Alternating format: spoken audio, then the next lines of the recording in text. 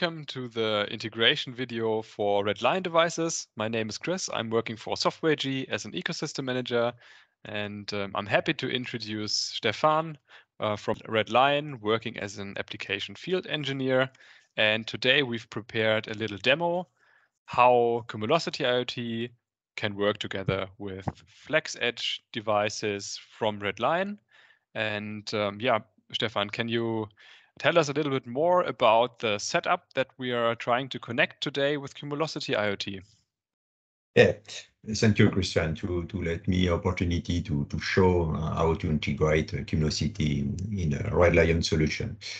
Uh, yeah, today what I've planned to, to show you is uh, how easy it is to, for this example, connect, uh, yeah, in this case, it is uh, the solar panel, so a sensor to our device and then to push this data to the Cumulocity cloud.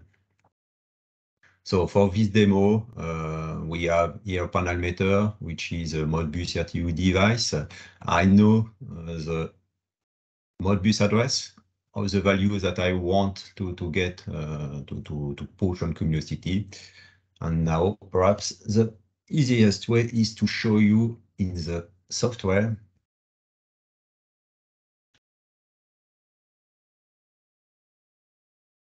So when you you are using uh, our software, uh, Crimson from Red Lion, first things you will have to do will be simply to go to the integrated connectors, choose the one from Cumulocity. And, and it's then, always coming with with the device itself, right? You don't have to install that separately. It's always part of the Crimson framework, as I understood. Is that correct? Yeah, exactly, Christian. It's a uh, it's a part of the of the Crimson software, and it is available in uh, in all Red Lion device that you you you can find. In fact.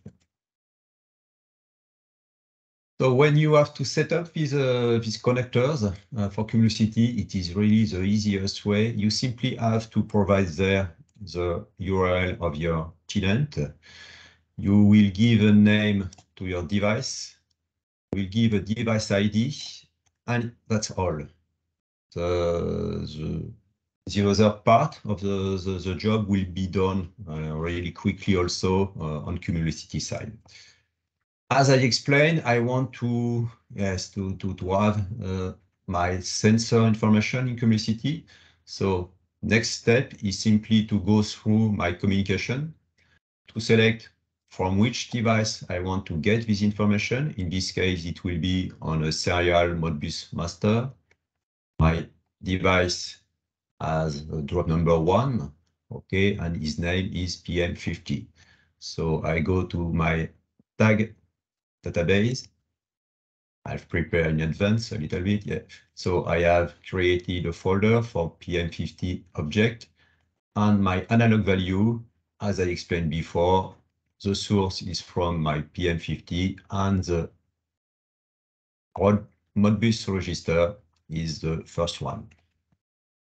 So as soon as I have done that, uh, I simply have to go to communication. Again, Cumulocity. There, normally everything is fine. And I have possibility to have up to 30 tag set. And for each tag set, I simply have to decide the way I will push data. For example, in this tag set, it will be periodic every second. And select from my tag database objects that I want to push on Cumulocity. Uh, for example, another tag set, I will select an array of value and decide to push the data not uh, in this case in periodic mode, but triggered by an external tags in my application. Uh, for example, you have a production batch, uh, it's finished, and so you want to record the data. So that really gives you a lot of flexibility to have a yeah very granular rule set which data to feed into Cumulocity and also um, reducing the traffic because you're just pushing the delta in some cases and you can uh, create up to I think you said 30 different tag sets, right? So you can have really exactly. a lot of different groups that are differently configured, uh, comprised of different measurements, and you shouldn't be limited by this um, yeah, number of tag sets, which I found quite impressive uh, to be used. And um, so let's yeah let's look at what needs to be done to get the data to Cumulocity next. Next step, as I explained, will be in fact in your Cumulocity account. Uh, I yes, I have started uh, this session. I'm going to device management. For the moment, I have three devices defined.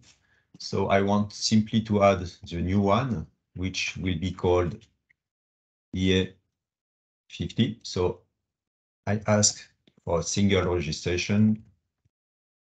I input my device ID. You remember it is the one that I put this place, this device ID. I can assign for example, to a group. And then simply have to wait for my device to ask to a registration. So it, it can it can take a, a, little bit time because uh, in fact he is trying every 10 seconds, uh, for 10 seconds after he's waiting 20 seconds and 30 seconds and two minutes in order not to, to, to have too much traffic during this uh, registration phase.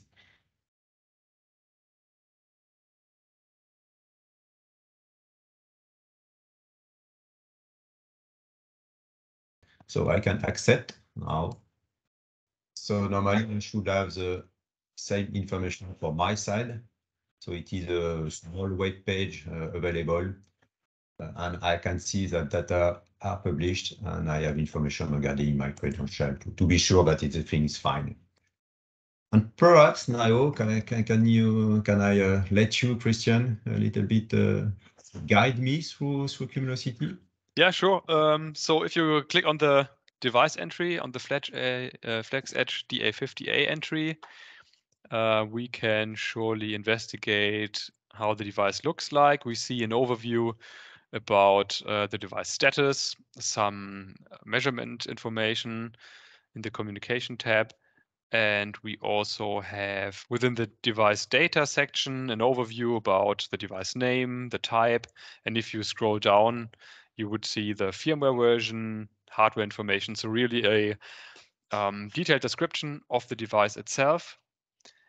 And when you hop into the next tab, the measurements section on the left side, we can see the value that you previously configured. And uh, yeah, in this view, you can see the last hour of measurements flowing in. And in this case, this is the voltage of your of your little uh, photovoltaic cells, right? And you can also change the, the the time frame of data, for example, to last minute, and um, yeah, in this case, we don't have too long time ranges yeah. present. We just connected it. Certainly uh, today, yeah. Yeah, we have to be uh, a little more patient to to display that. But um, yeah, let's also look at what else can be seen. For example, you have the uh, location tab on the left side, relatively at the bottom. There you can see where the device is currently located. You could also change that since your device isn't sending any um, yeah, location sensor data. It is a hard-coded information, so you can also edit this location if you wanted to. You can also, um, yeah, within the availability tab, see how uh, the availability in the past time frame was.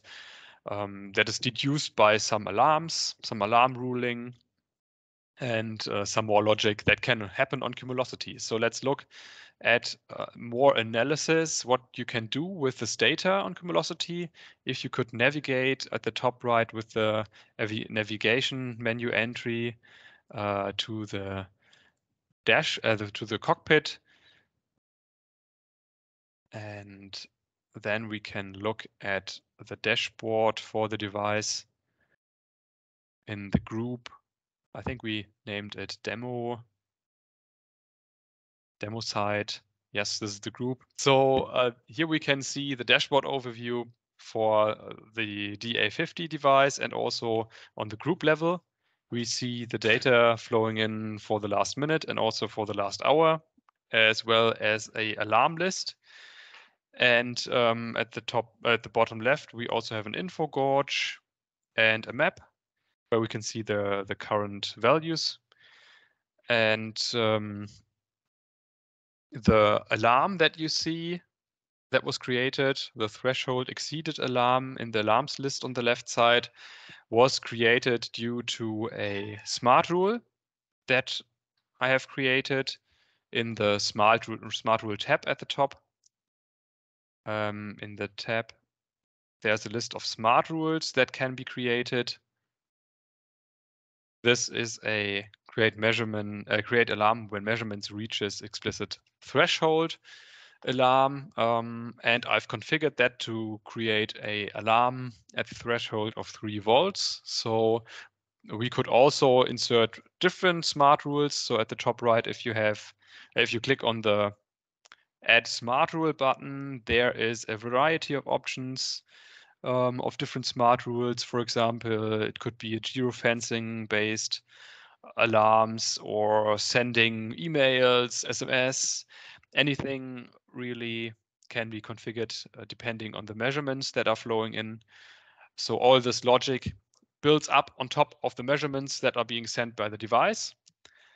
And this is really where yeah, Cumulocity starts. And um, since there are multiple and more options how to analyze the device, if you close that um, little window and go click at the top right again to the application switcher menu, you can see that there is, for example, streaming analytics, Apama analytics builder. So everything that you want to do regarding data analytic, analytics can be done within these applications.